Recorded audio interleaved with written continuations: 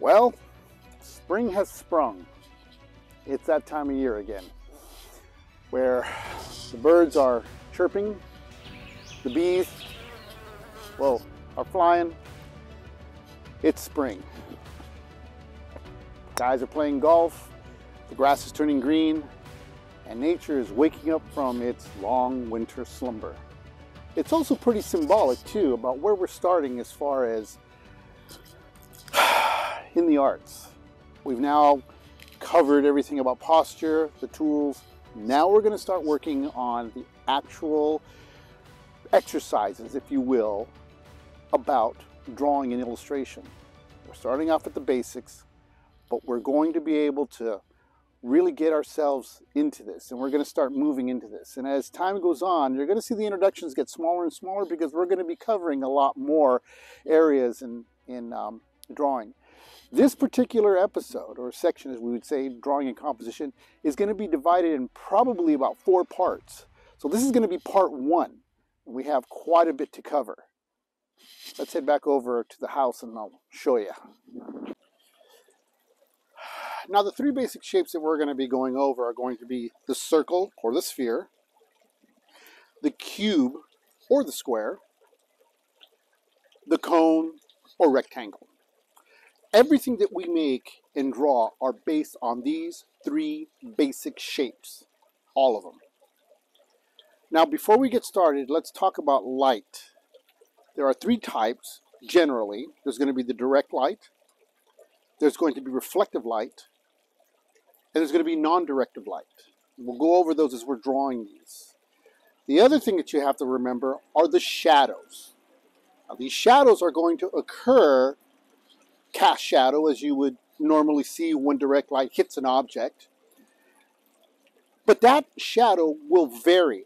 In other words, as my hand is placed over an object, as you can see here, as my hand pulls away, first it stops. But you can see the distinctive line shadow from my hand.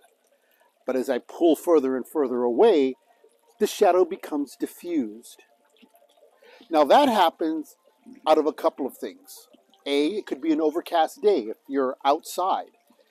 It could be also another thing which you're using a direct harsh light, which is very close to the object. These are different tricks to create an illusion that light is further away than where it should be. All right, let's get started.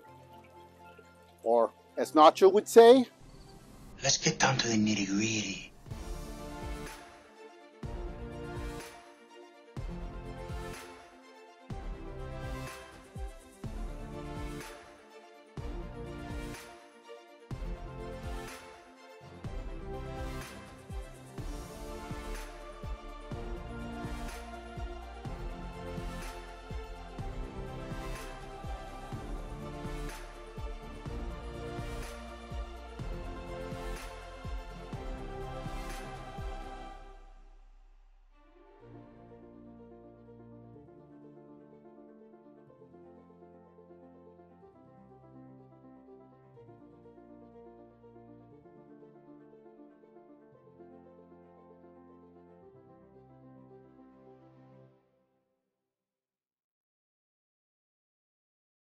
Warning. Warning. Warning. Warning. Warning. Warning.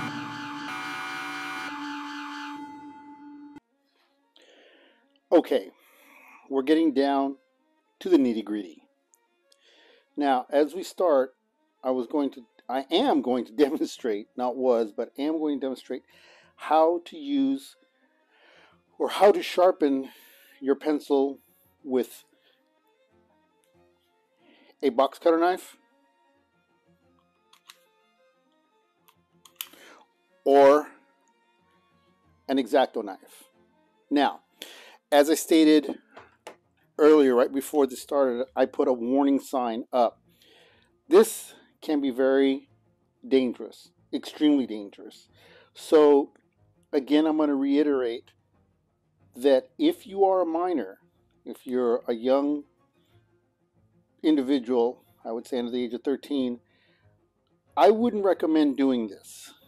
Um, gain some practice with it first and have your parents with you. Listen to what your parents say. If they don't feel comfortable with you doing it, don't do it at all. Use your pencil sharpener. Now, for those of you who are in college, those of you who are in high school, you're a little older, you'll be able to handle this. But remember, these tools, when you get them out of the package, they are surgically sharp. Okay, they are. They are extremely sharp. Handle them with care. Handle them as a tool, not a toy. I'm going to emphasize that. Do not play around or second guess. If you don't feel comfortable doing this, don't do it. Stop immediately. Okay, now let's move on.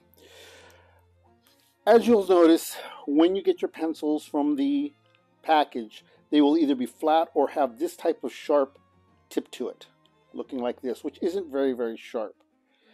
But if you are um, going to sharpen these and you find yourself doing an exact, uh, being able to uh, feel confident enough to do this, this is a method that I use. Now, there's two types of methods to work with.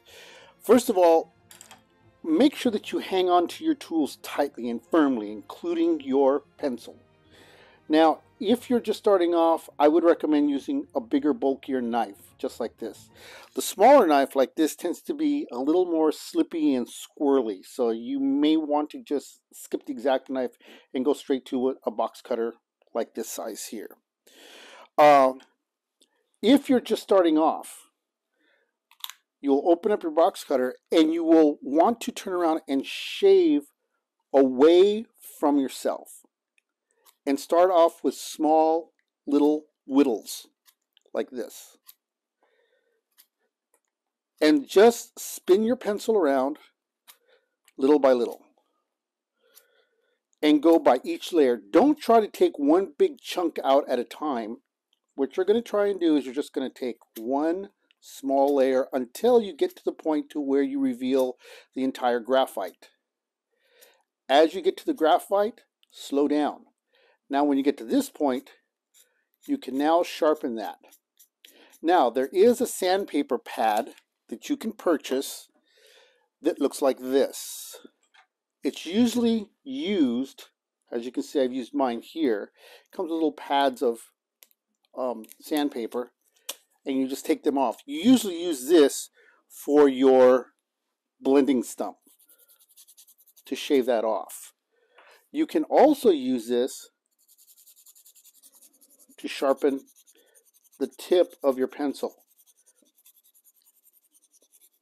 Until you get used to being able to really sharpen that down if you use this and again you can get this at any art store.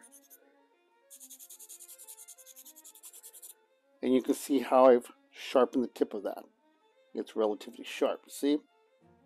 Now the second way that you can sharpen your pencil will be like this. And let me pull out another pencil here, as I have. For the advanced artists, or for the advanced ones, now what you can do is you can take your pencil and turn it towards you like this.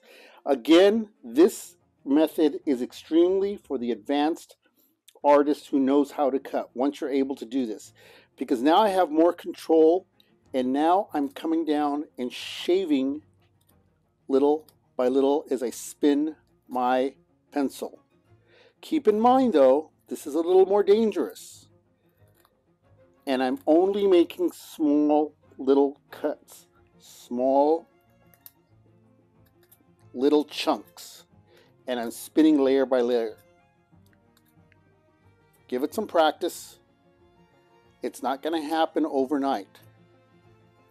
And again, if you don't feel comfortable using this, go back, turn your pencil around and start shaving away from the uh, away from yourself.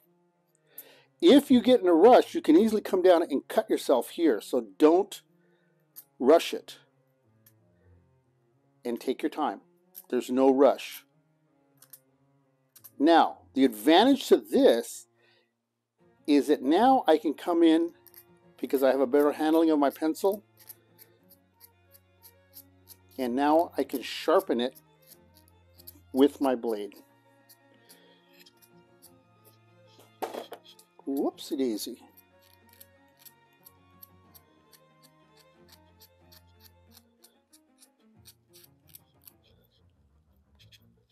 Of course, I got my hand dirty, but there you go.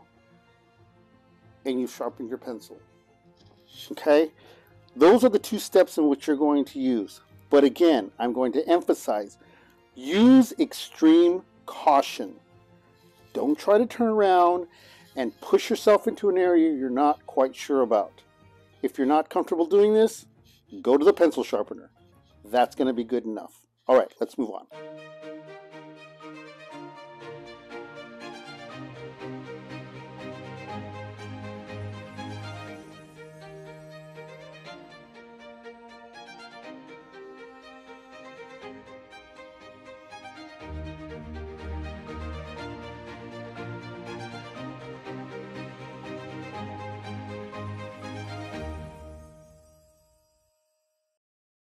So I have different angles to show everybody what we're going to be doing. We're going to break this up into three different groups. We're going to do the sphere first. Then we're going to do the cube. Yeah, we'll do the cube next. And then we're going to do the cone or the rec triangle. See, I almost did that again. I almost said rectangle. I got corrected. Triangle. Okay, we'll do that last. Reason we're going to do the cone last, in my book, the way I look at it, it is probably one of the most difficult ones to work with because you're working with an ellipse at the bottom. There's a difference between the ellipse and the oval. We'll talk about that later. But what we want to do right now is we want to be able to grab all our information and we're going to put all that together and we're going to work on it, but we're going to break it all down first before we get it all munched up together, okay? All right, here we go. Okay, um, one other bit of information I have to give you. Now, there's going to be three uh, ways to do your sphere.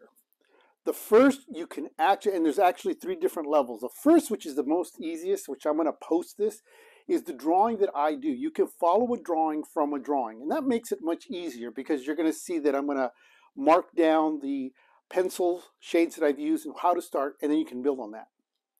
The second one is the actual photograph of the sphere. Now that sphere is going to be a little more challenging because you're going to want to try to make it as close to the photograph as possible. And that's why I say it's a little more challenging. The last one is the actual model itself.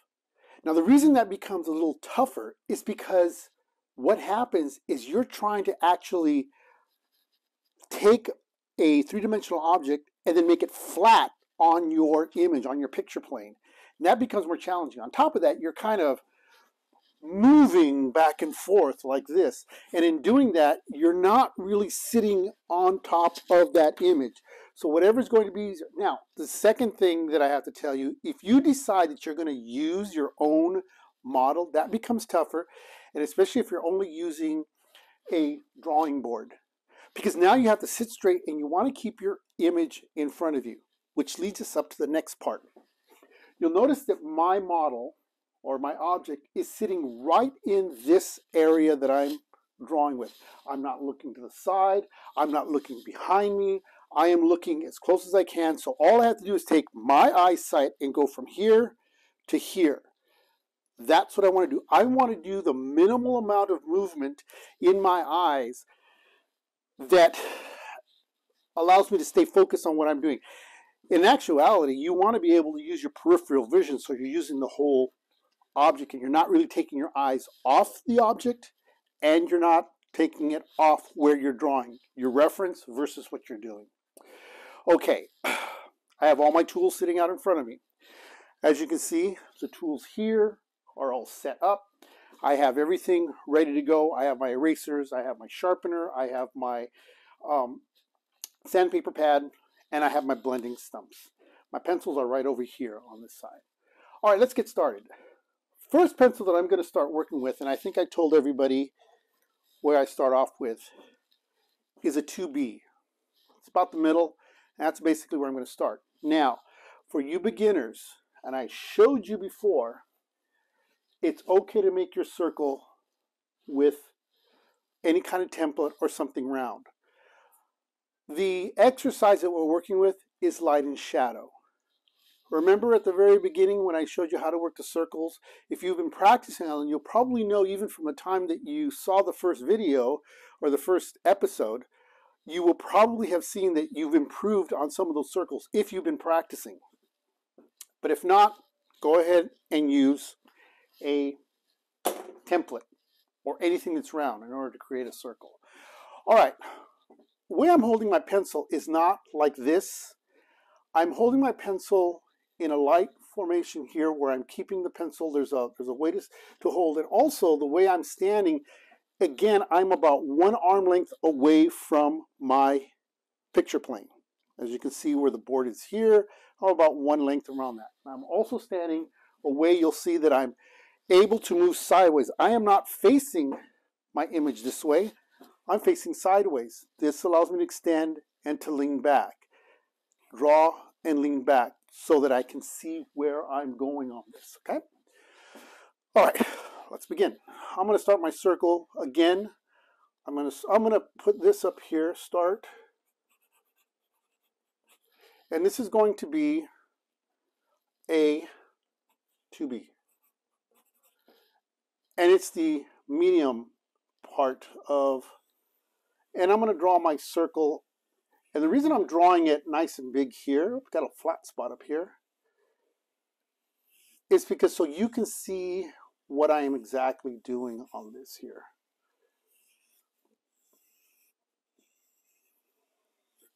All right. I have my general idea of where my sphere is going to go. Now from this point here, I'm going to switch my pencil Again, I'm going to say this isn't ironclad. It's not in stone. This is the technique that I use. You can turn around and move in a different direction. I'm giving you a base on what to work with. This gives me my outline on what I'm working with. As you can see, I've started my circle here. It's giving me an idea of, the, of, of how things are set up. Now, I can see here, I've got the light right there. I know there's probably a bit of a glare, but that is so I can see the light off of what I'm using as my subject or my, um, my reference here. Okay, now, um, usually what you want to do is you want to put your pencils back where they were so you're not looking all over the place for them. You know exactly where they are. I'm going to move to an H pencil. Move that to an H. All right. And what I'm going to do is I'm going to lightly shade the entire sphere. Now, keep in mind, mine is rather large. If you have a smaller sphere, it's going to be a bit easier to use. I mean, less area to cover. I'm sorry, not easier to use. There's less area to cover, and so therefore you don't really have to. Um, you don't have to really worry about making sure that your entire shading of your image takes a while to do. Take your time. Use a smaller one. That's fine. Okay, now I'm going to take my blending stump and I'm going to take it on its side. Okay, I'm going to use this and lightly blend this out. Now I'm going a little quick for time purposes. But the more detail you put into this, the more realistic it's going to look. Okay, I'm going to stop right here. One of my professors used to say, as a teacher, you should never ever show your artwork. And I used to understand why. And for me, it was like, I want to know how good my professors are, my instructors are. So I want to see their work, kind of like a, a portfolio. But as time has gone on, I finally understand why they've said that. The reason is what happens is we tend to compare ourselves or want to be what they are doing. Keep this in mind. Starting right now, right at this very moment, you are developing your own style. Have you seen pictures of young ladies, or let me rephrase that.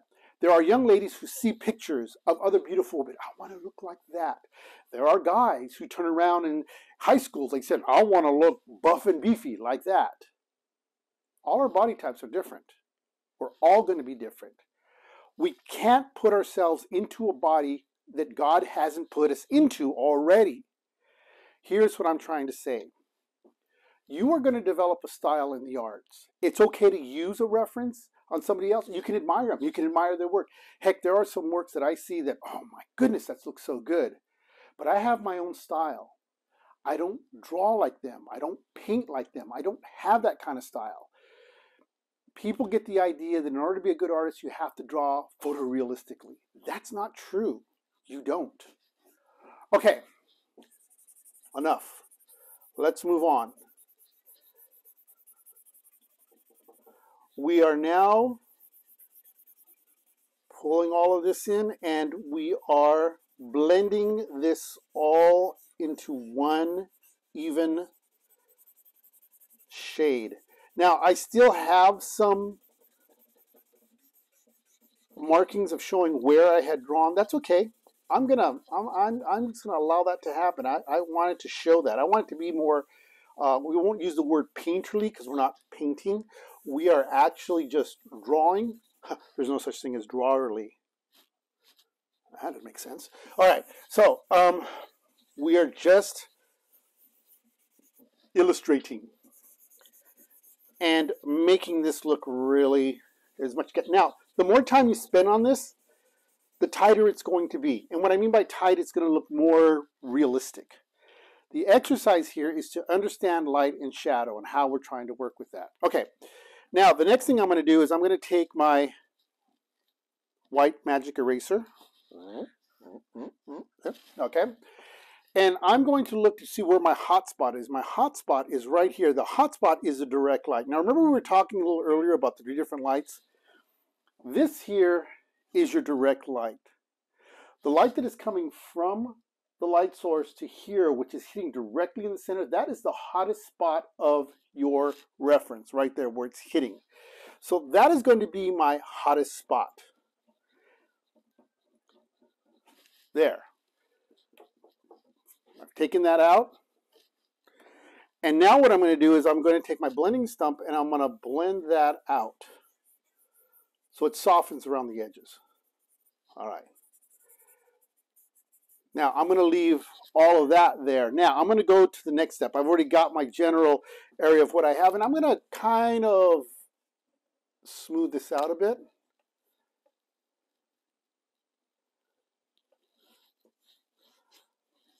Huh? Huh?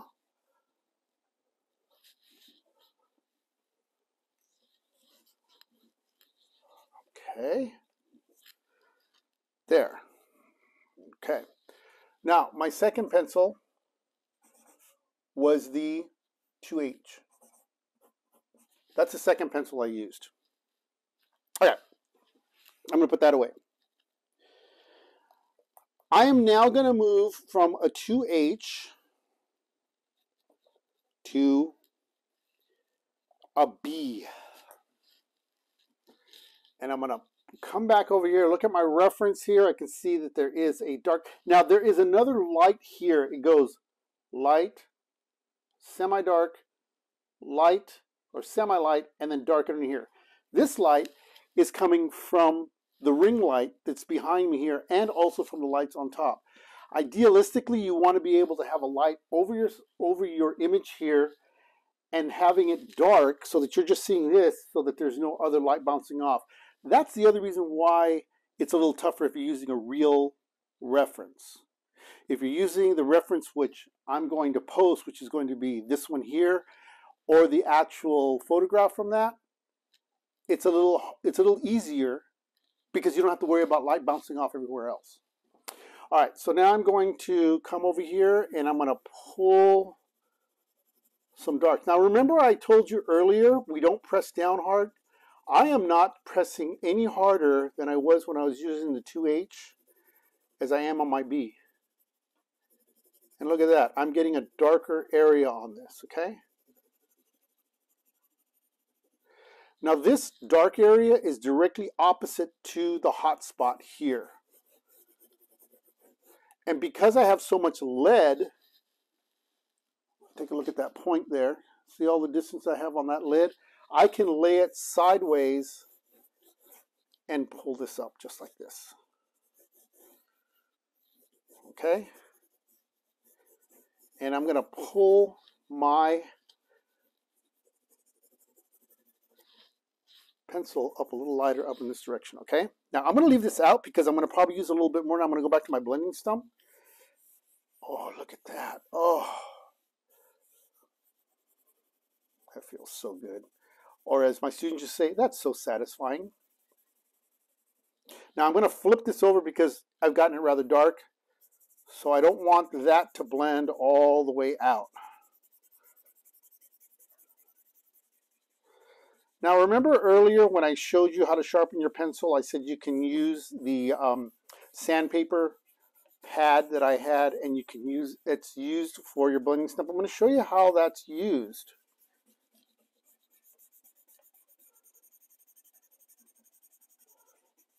All right, let's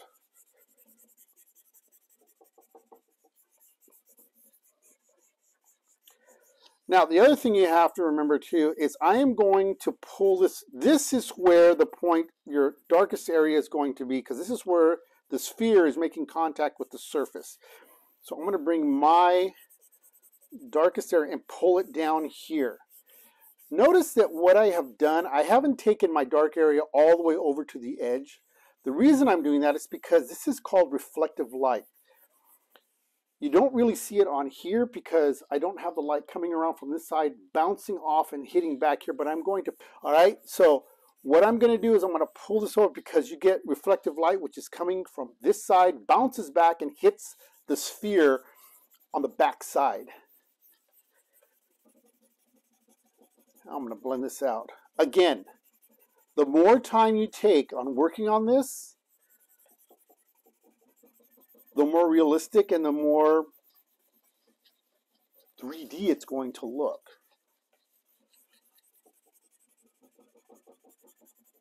All right.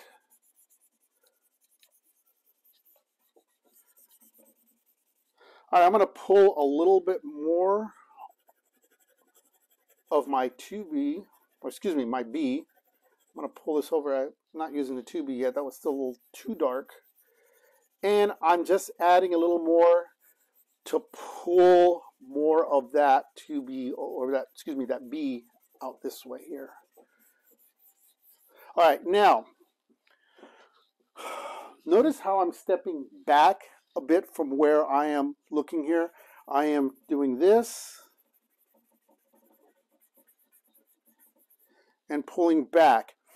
I can see that there's a dark area here I'm going to blend that out because I don't want a block there. Now I can go back to my darker side of my blending stump, which I had a lot of B graphite, and I can pull that around and blend that. Always step back and look at your sphere, check it out to see how it's coming up and how it's developing. All right.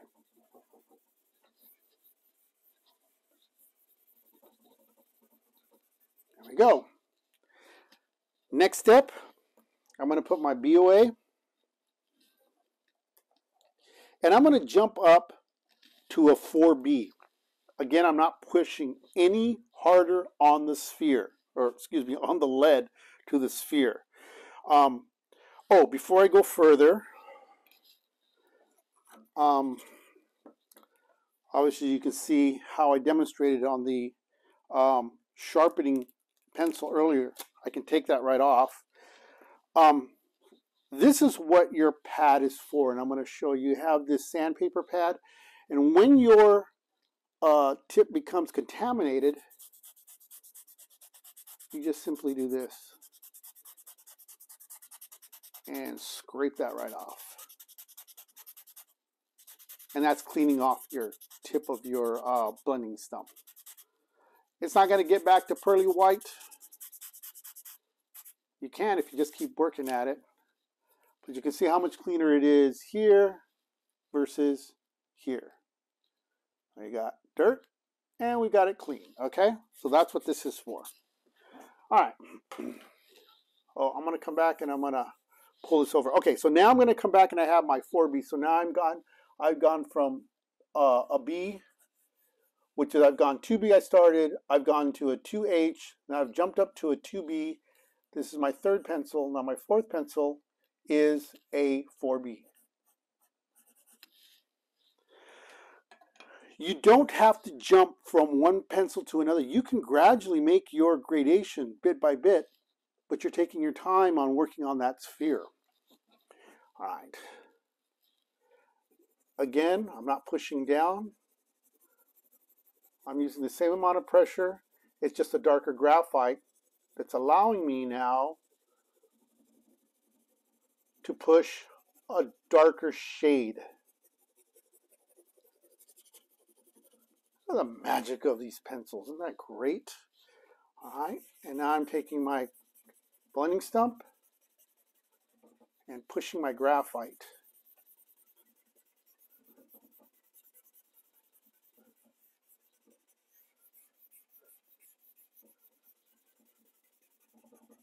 All right. You can see how the sphere is now becoming having more dimension to it. All right, now at my 4B area, I'm going to turn around and I'm going to pull a shadow out. I'm going to start pulling the shadow. Now, this is your cast shadow off from your sphere. And then there's a slight shadow which comes down this way, which is casting off from the front, and you can pull that forward.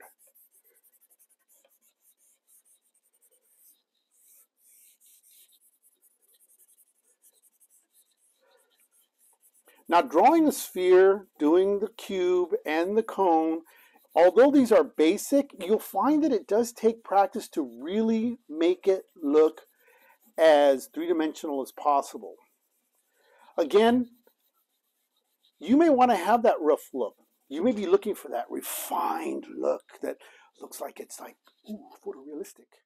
You may just want to have that image look like it's just an illustration and not even use a blending stump. And that's okay too. Don't box yourself into saying, oh, I want to draw like this. You haven't gotten to that stage yet. You're experimenting, you're learning. Okay? You're being learned. All right. Okay, now I'm going to put this away. This is my 4B putting it right back so I don't have to be looking all over. I'm going to jump from 4B and I'm going to go up to, uh, let's make that a 6B. I'm going to skip the 5B and I'm going to move up. Now watch this.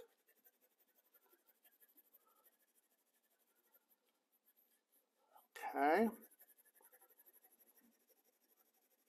Now I am moving a little faster because um, we do have, I don't want to spend so much time to where I am just boring you to death.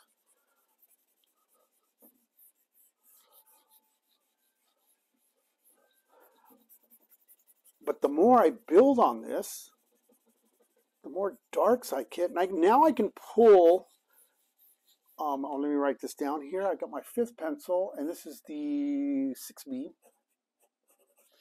Okay.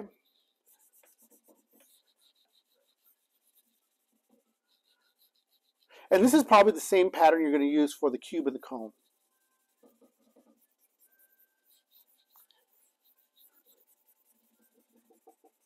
All right. There we go. Well.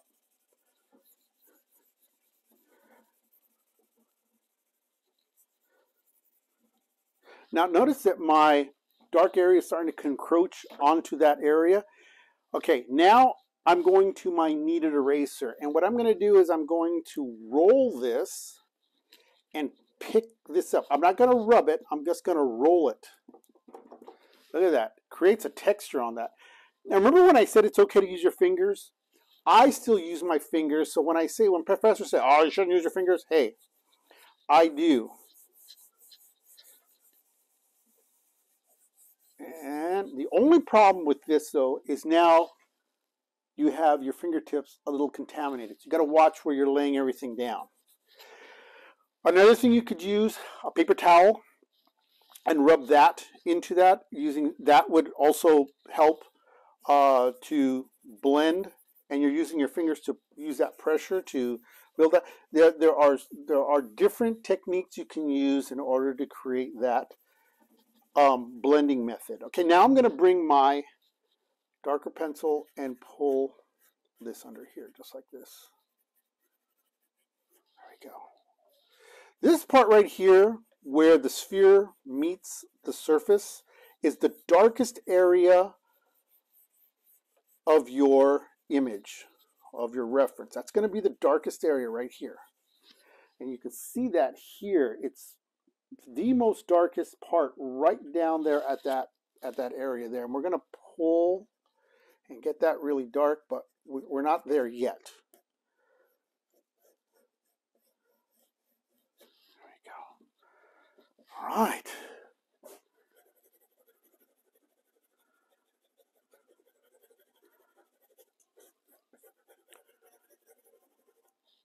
And again, blending. All right. Let's jump up. Skip the 7B, 8B, and we are now jumping to the 9B, which was at one time the darkest. All right. Uh, I'm going to start down here, and I'm going to pull up. Now you got to be careful with the, now when you start getting to these leads here, even though I'm using the same amount of pressure, they're going to break much easier, the tips will. And so you have to be a little more uh, softer on the pressure. All right.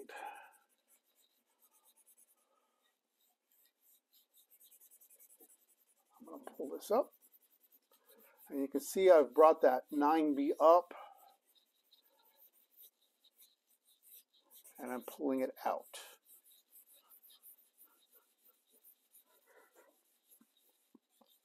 Now, if I want, I could easily turn around and create a background which is what you probably want to do very lightly because you don't want to have a completely white background. Now there is a paper called a halftone paper. It's a gray paper and we'll get into that later.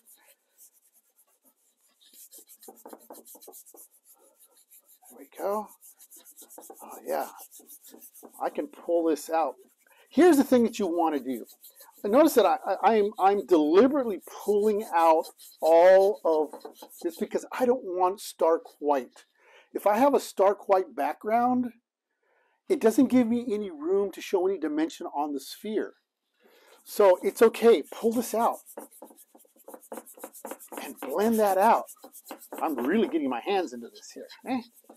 Look at that, huh? If I want, if you want, you can even go a little darker.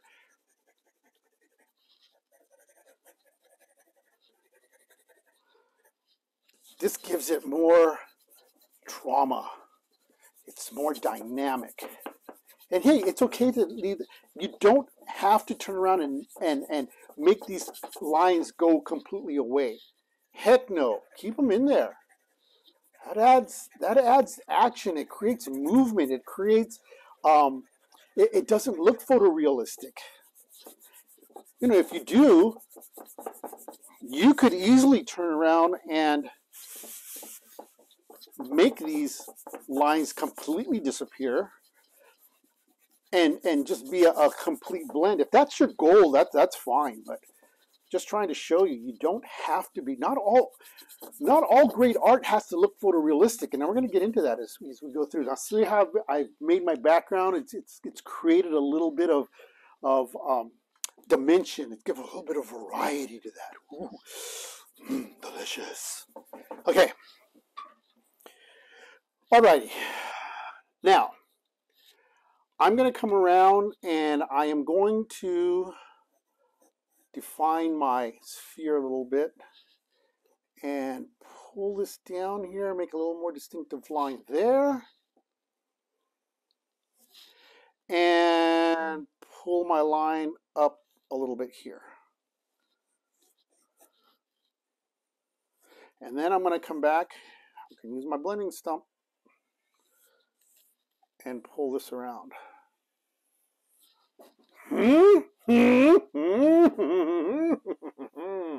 yes, I even get excited when I do simple things like this. I tell my students this, and I even tell my apprentices. The day you don't get excited about the work that you do is the day you need to get out of filming or not filming of, of well anything in, in, in, in the arts because you should be excited about what you do. You should be enthusiastic all right? And, and and everything that you create should be phenomenal. Look at that huh? There we go. Oh yeah all right. All right we're gonna come back on this here and blend this a little bit. Oh yes. You can see I am using my fingers. It's okay. All right, now I'm going to jump to um, the darkest pencil, which I have. Um, this is called a 9 double XB. It's equivalent to a 12. Now I'm going to pull that dark area here.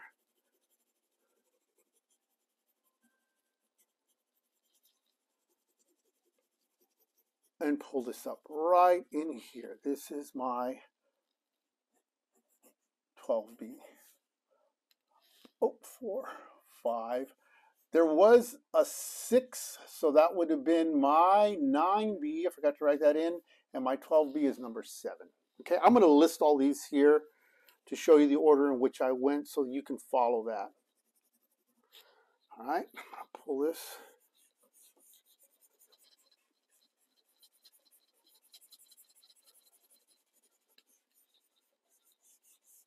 And pull this up here just like this.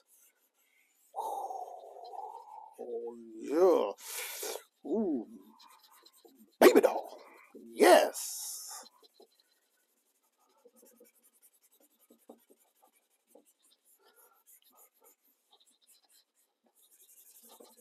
There we go. Now, if I spend more time on this, I can pull this up and over, up and out, like this.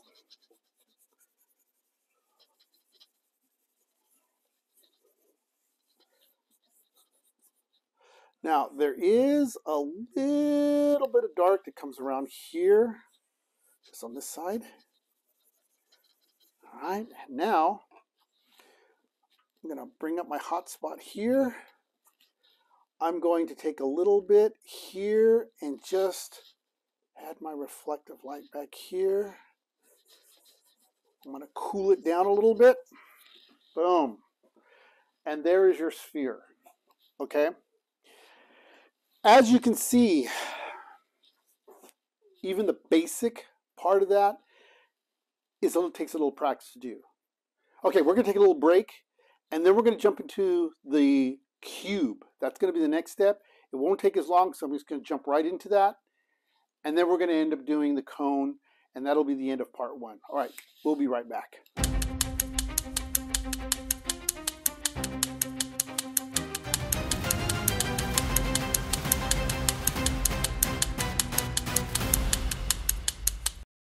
Okay, we're back. Whew. All right. Now, but okay, cool. We're ready to go. All right, we're going to kind of move through this rather quickly because we took so much time on the sphere, getting everything all set up and ready to go and the whole bit. All right, so now the cube. Now, we're not going to work so much on perspective, so don't worry about that for right now. So here's how you're going to start your cube. You're going to start off with almost like a diamond shape now I'm going to press a little harder so that you can see what I'm doing here. All right. So you have a diamond just like this. Try to make sure that these points here come together and these are level there. I mean, they don't have to be exactly level, but that's all right too. Now, let's say you're not good at drawing a straight line. Well, here's what you can do. Now, your vertical lines now, you can use your T-square and your triangle. You come here, come to this point, make sure that you're even and squared up against the side there. Whoopsie daisy. It's kind of hard having to demonstrate and then draw the line straight down here. Your next line will come down here. And your next line will come right down here. So you have three vertical lines. Okay, move that out of the way there. All right. Now, once you have your three vertical lines, you're going to make the bottom line parallel to this line here. Just like that. The bottom line will be parallel to this line here. And voila, you have your cube. That is where you're starting off with. Now, I'm going to show you a different technique about working with shade. Now, remember how we went, I'm going to erase this part here. Remember earlier what we did? We um, did the background a little a little darker and we added a little bit. Okay, so here's what I'm going to do. I'm going to go to my darkest lead. Now, you, you, you can experiment with this. This is fine. And I'm going to just lightly go over this whole entire square, just like this, the cube. Okay, and that's going to give me a background, a luminescent background. I'm going to take, oh, ah,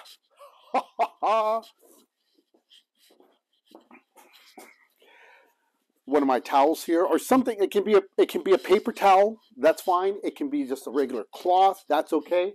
And now what I'm going to do is move my triangle out of the way. There we go. And now what I'm going to do is I'm going to blend that background I'm not using a blending stick I am now using what did I drop oh just my T-square all right and now what I've created is I've created a a darker shade for for me. It's oh, it's, it's called a midtone. It's what we're doing. It's, it's what I'm doing now. You can still see the lines. Don't worry about it. It's okay. You know why? Because it creates texture. Okay, so we're moving right along here. Now, our light source is coming in from this direction. Now, let's take a look at the cube itself, which you can see here, my cube. There are three shades of light. The direct light, the indirect light, and the shadow. And then, of course, the cast shadow coming off the back here. So what I'm going to do next is now I'm going to take, this is the harshest light here. I'm going to go to the top, and I'm to go with a 2B. So what I did is I, I started this off, my first pencil was a, uh, the darkest one was a 9B, or 10B, 11, or a 12. And I went very, very light. You don't need to go very dark, just barely go on that, and then you can do that graphite. Another thing you can do is shade the graphite down and then use it almost like a powder and then wipe it on you. That's another way you can do that. Now I'm going to drop down to my 2B, and again I'm going to go re relatively light. And I'm going to go on the top part here, just lightly just lightly. Okay, now that I'm working on this area, I'm going to go to my blending stump, and I want to stay within that area, and I'm going to lightly blend that. There we go. Now, this is your lightest. This is your second to the darkest. Now I'm going to go a little darker. I'm going to pull this here. But I'm still using my 2B. Or not 2B. yeah, I know. Bad joke.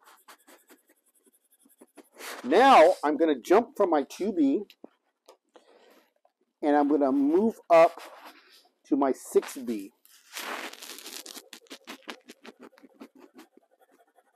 I'm going to pull that off there. Now I'm going to darken this. Now watch. This side becomes even darker. Look at that, huh? All right, now the cast shadow. If my light is coming from this direction, my cast shadow is going to go off in this direction. Now, this is going to be a little tricky, but here's what we're going to do. I'm going to take my, uh, what I have, my 6B, right at this point right there, I'm going to make an arbitrary line, and I say that arbitrarily because this is where your skill set is, and I'm coming straight out. At the opposite side, I'm making another line here. Okay? This is my cast shadow off from my light here. And now I'm going to make my area here. This is going to be the darkest part of the cast shadow.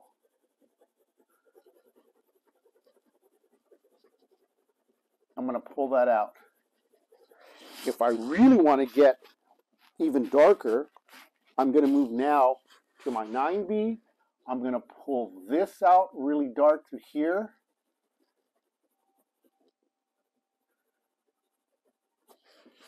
Pull that out. And now I'm going to take my blending stump and blend that out. Now, remember when we talked about shadow diffusion? This is the part that shows how when we get to the top of the cube, it fades out. Watch. We come out, and now we're going to pull this out.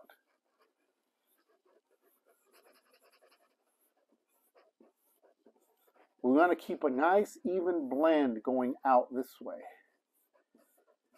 Now, the longer the shadow is, the lower the light is going to be. If it's a shorter shadow, obviously the light is higher up. And of course, this would lighten up too. There we go. Now what I'm going to do is I'm going to take my white eraser and I'm going to get rid of this side here.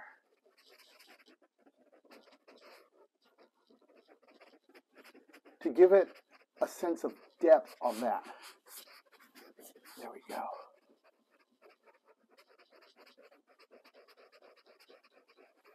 Look at that. There we go. And there is our cube.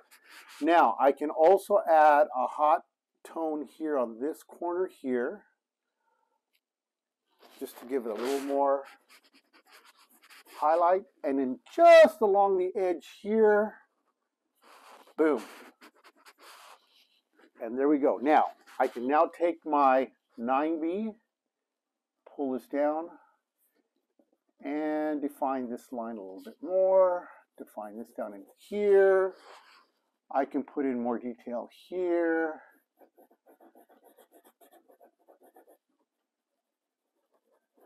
And really just add more and more texture, or I should say shadow to the box itself. I'm now taking my blending stump and I'm blending all of these areas out here, just like this.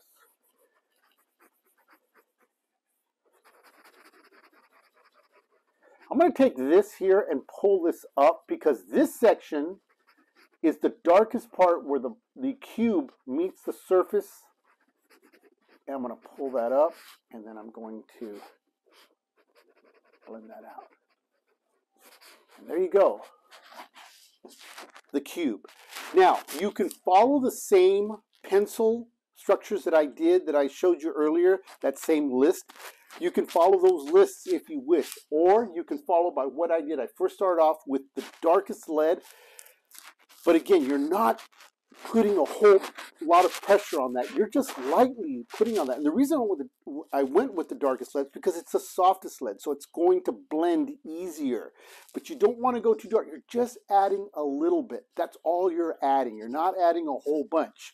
Okay, uh, a bunch of graphite. And I said lead again, and I, I'm using the word lead, and I, oh, oh, oh, terrible. Graphite, graphite, graphite. It's graphite. When you hear me utter the words lead, it's wrong. It's graphite. What's it going to take? All right. So now the the the softest graphite is the one that's going to create your darkest and deepest uh, textures and your um, areas of dark pitch area that really makes everything pop out. Look at that. Okay? All right. Now, the more detail you add to this, the better it's going to look, obviously. Now, if I want, I can lightly come over with my eraser and just ever so slightly pull some of that graphite off. There we go. And there's your cube. Okay. That should give you an idea of how to work the cube there. Again, you use the same principles that we did on the um, sphere. Stepping back, looking, making sure you have everything all in proportion. You're looking at your image as well as your reference. You're taking, if you're sitting in your desk, you should have your reference directly in front of you. Okay, one more. We're going to do the cube. We're going to do the cone or the triangle. Good night. And then we'll have everything wrapped up for this uh, first part. Okay, let's get that cube out of here and bring in the cone, and we'll be we'll be this right after back. Ha!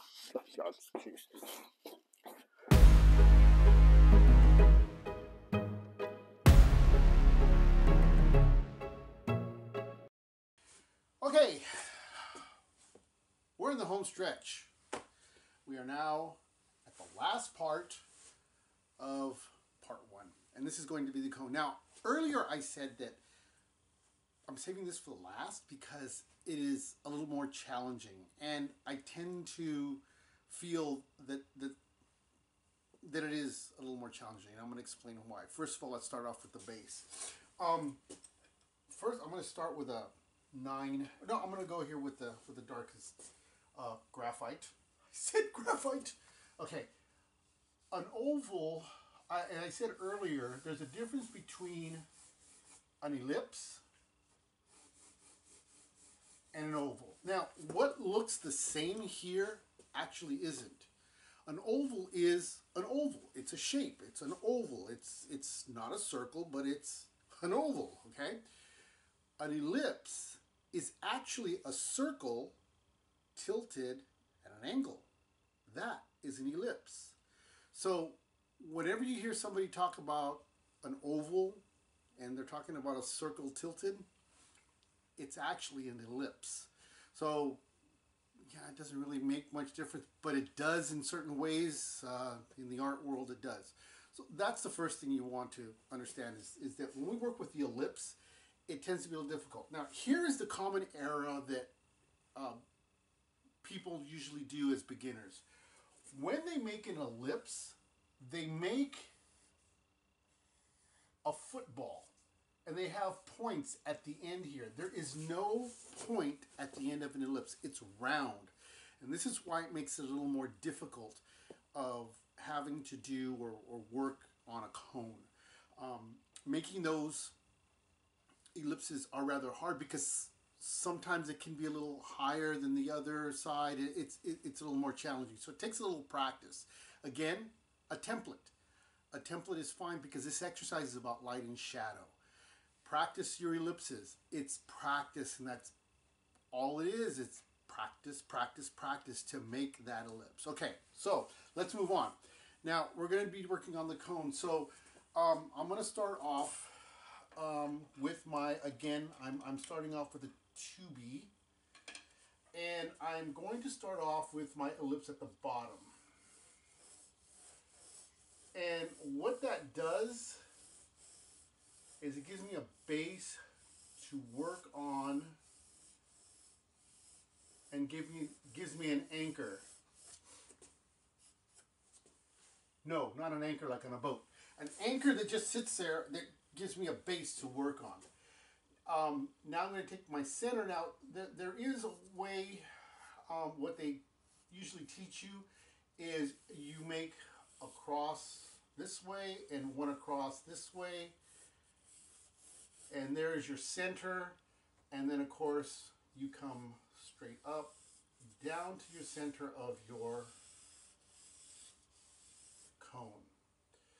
All right, from this point, now this cone has a flat top here.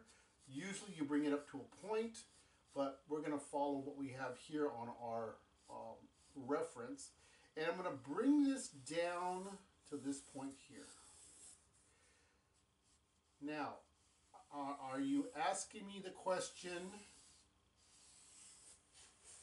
may I use my straight edge? Absolutely. Remember, I am a strong proponent, yes, of using whatever tools you can to succeed at what you're doing. It's not cheating. And again, using tracing paper is not cheat. There are so many things to help you excel in your skill of your arts. Hey, I, I, I'm reiterating, I've been in this business for 60 years, 50 years, 55, whatever. A long time. And trust me, I have been up and down the block and when you get to these series, you're going to find that there are other artists, some of the greatest artists, and I will show you, have used different skills to help them in their craft. So use it. Get better at practicing. Okay? All right. So um, what I've done here is I've made my line here and here. And now what I'm going to do is I'm going to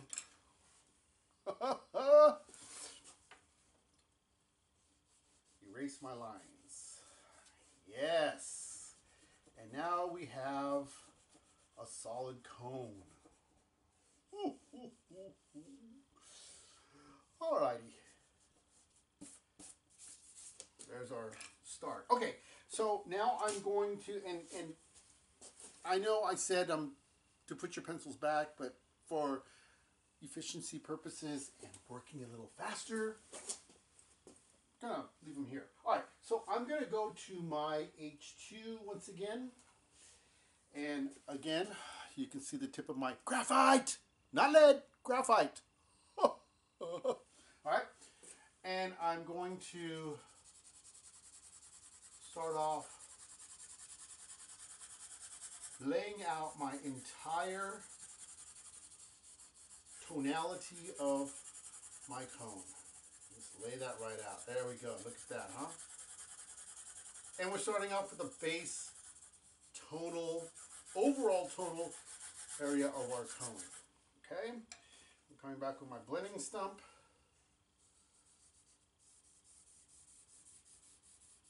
And I am blending, balancing out my tonality. Oh, love it. Yes.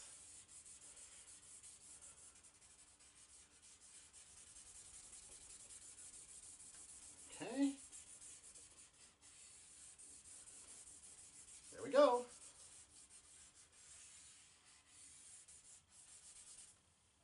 Beautificationized.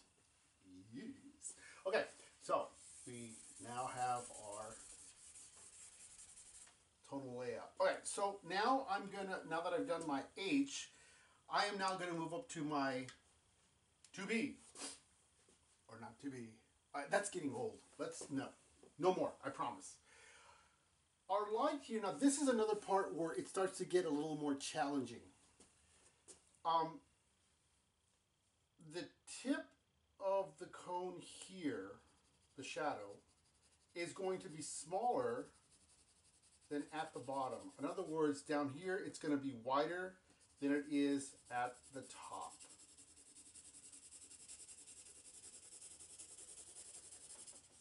And so we kind of have to have a gradation that comes with this cone. So it's not like the cube. You had one solid edge, one was lighter, second one was not as dark as the shadow, but not as light as the direct light. So you had three different distinctive sides to work on.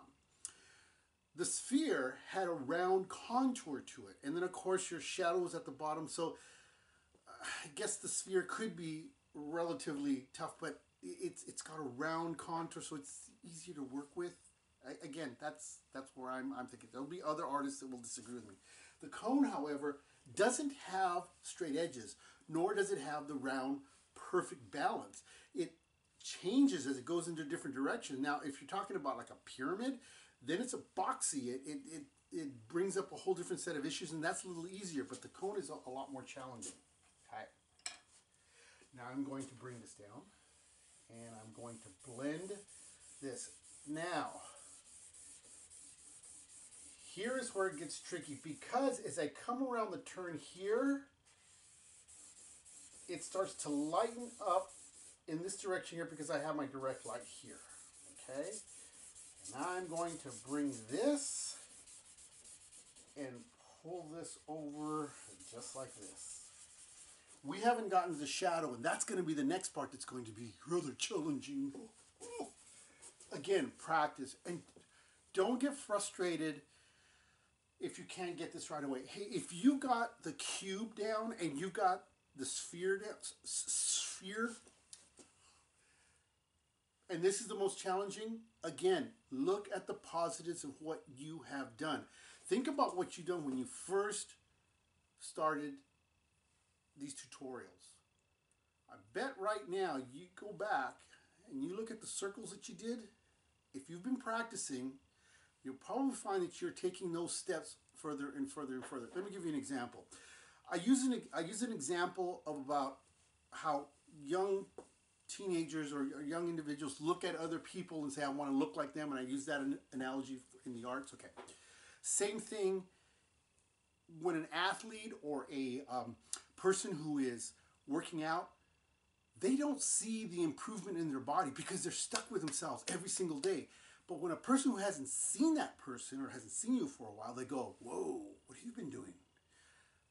And they go, You, you mean you can see a difference? It's the same thing in the arts.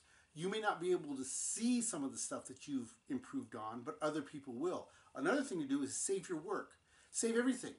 Because you can go back as a reference and say, Whoa, I did that. Trust me, I go back to some of my stuff I did in high school and I go, Huh? What? Why did I think that I was all that great? Yeah. Whoa. Okay. So, come around and we are working on this. I know I give you a lot of information. It's because, in all honesty, I wish there were a lot of other high school teachers that would have been able to work with me on a lot of other stuff that I have. That's a whole different story. Won't bother going into that. Anyway, so let's move on. I don't want you to fall in the same traps that I did. And we'll be talking more about careers in art and all this, but we're starting right here. Okay. Okay. Now, before I make this side any lighter, this is the way I work it. I'm going to pull it up a little bit. So I'm going to, well, that's a 9. I don't want to go up to my 9. I'm going to go up to my, let's go to what? 3B. And again, I am not pushing any harder on my graphite. It's the same pressure, it's just a darker graphite. That's it. And that's the magic of, of learning how and when to use your graphites to create a darker shaded area. Now, when we lay the graphite down, it's it gets darker when we turn around and we add our blending stump. Look at that magic. Okay. Now you can see the line is straight down, so I'm going to have to pull this out a little bit more at the bottom because the shade does get a little darker. Now, you've probably noticed I'm getting a little closer. And the reason I'm getting a little closer is because I'm pushing down harder on my work here. And I'm still stepping back and looking at what I'm doing. I'm not permanently doing this. I'm not just right down on there, okay? So I'm not doing this the whole time. I'm still looking back and I'm still stepping back on my work here, okay, to see where I'm going. All right. And here's the other thing too. Um, unless you're trying to create a texture, you pretty much want to stay in contour with the direction of what you're using here. Now, that doesn't mean you can't go in this direction. You might be trying to develop a different style and a different style. And that's the other thing I said. Right now, you are just learning. You are learning about light and shadow. You're learning about how to work these things. So experiment with it. Have fun with it. Try some you know, modified cross hatching if you want. Try some different ideals, ideas, and even research some of the other artists. In I mean, Google that stuff. Before, when I was in school, all you had to do was you had to go to a library. Hey, the libraries, you just go on to Google and find cross hatching, pencil drawing, cones, styles and you'll find hundreds of different styles. Like I said, just because a person draws, you don't have to be photorealistic to draw there's a difference between fine art and illustration, and we'll get into that again later. But I, I'm trying to prepare you for what's coming up. Okay. Now, again, I'm leaving this side a little lighter because I'm creating some reflective light as it wraps around the cone itself here. All right. And I'm pulling this up. All right. So now I'm going to jump from my 3B and I'm going to go to a 5B. And again, I'm going to go darker here. Now, when I get down to the bottom or the base of the cone, again, always at the bottom, this is where the darkest part of that, of the cone, the cube, and the sphere is going to be. So I'm going to pull that right through here and carry that around here.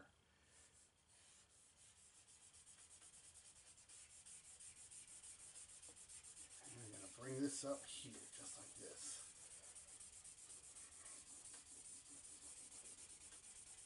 All right. Now, before I go any darker, I'm going to do something here. I'm going to start working on the lights. All right. So, again, I'm going to take my white... Eh, I'm going to use the gum eraser this time. And as you can see, it, it pulls same amount, but it has a different feel there. Now I'm going to bring this down. And I'm going to I'm going to give a nice clean edge here and clean this up here just like this.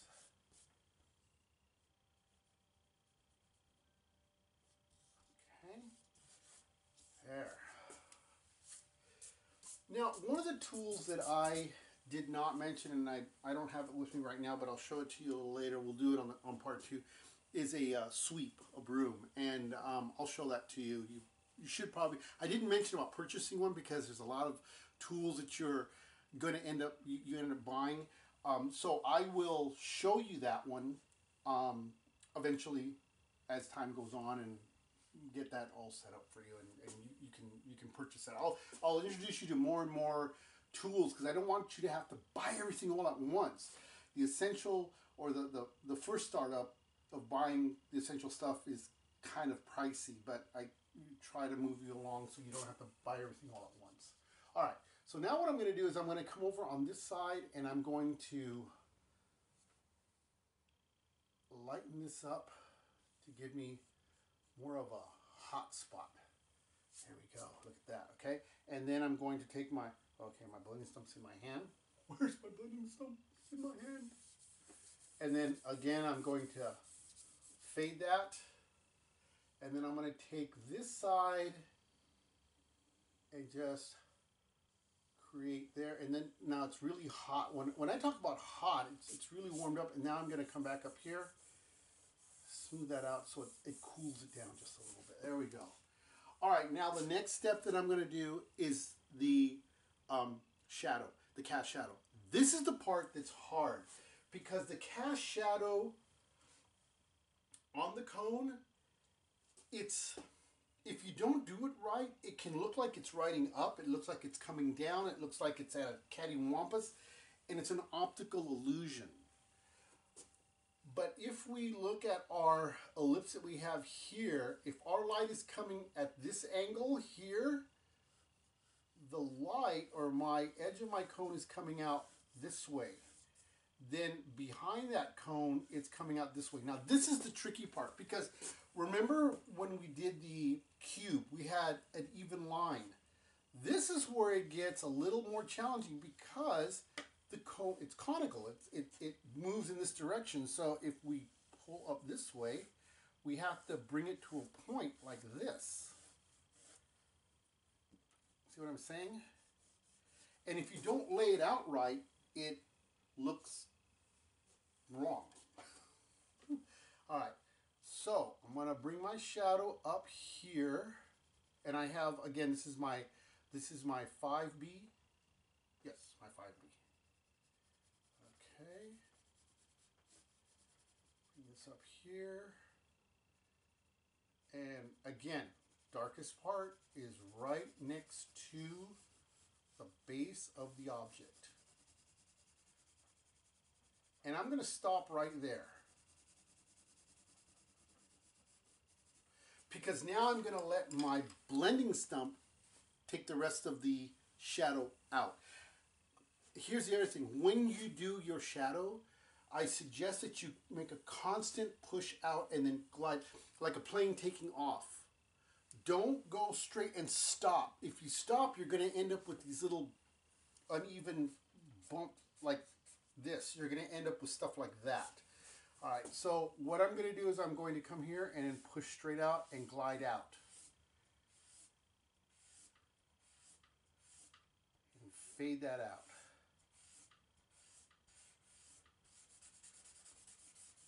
Okay. Now you can see what I did. I you, you can see, and it's very tempting. And you want to blend that right out just like that. Pull it out. Pull it out. Okay. There you go. And of course, as the shadow gets further away, it diffuses. All right, I haven't even gotten now. I'm going to jump to my 9B. Bring in this right here to the 9B right here. Look at this. And now that really pumps up that shadow. Right up in here. Right up there. Look at that, huh? And then to really add an accent on this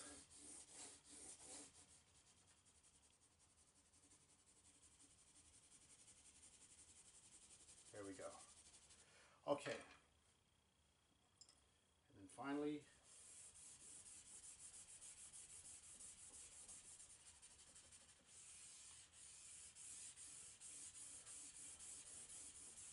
there we go. Look at that. 9B just really pops that right up. And then I pull my 9B out. It gives me a great cast shadow. Pick up anything that is bumped off there and look at that. And there is our cone. All right. Beautiful. Beautiful, beautiful, beautiful. Hmm. There you go. That gives you something to work on now. Now you have the cone, you have the cube, and you have the sphere. Practice these. Take your time. reason I was able to move these so fast is because I've been doing it for years but use this as a reference. Okay, so what I'm going to have now on the tutorial is you're going to have six images that you can download. Three of them, which are the cone, the sphere, and the, the, the cube, three of them are going to be from a photograph, from the actual images and what we use here.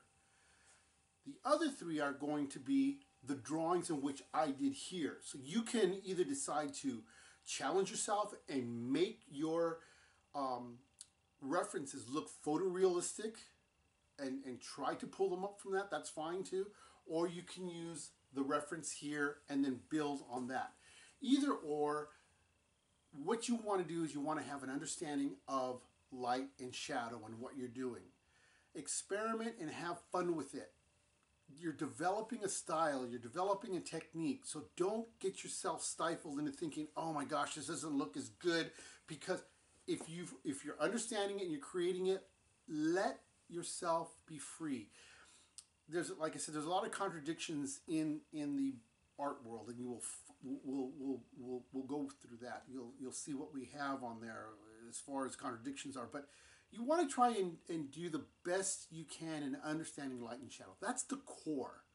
The core is understanding your pencils, understanding how you're using them, uh, your how to sharpen them, how, how your tools will create the effect that you're trying to do. And constantly finding out what other artists are doing um, also helps you to develop uh, your skill set. Okay, this is going to end part one. Next week, we will be working on the compositional side. So we're going to take these three objects and then I'm going to talk to you about dividing up the uh, picture plane. For instance, that's a cone. That's a cone. Not very interesting. If we put a frame around it, it's a cone. There's no composition. I'll explain what composition is and what it does, how it anchors the person. It keeps the person viewed or, or, or stuck to what you're watching. It's like a movie, for instance. You go see a bad movie, yeah, it's like, yeah, I gotta see that. It, the plot is wrong, everything is wrong. Same thing in pictures. If you don't have a good composition, you can have the best drawings ever, but if there's no composition to it, it's like, it's not going anywhere. It's there. It's just, the.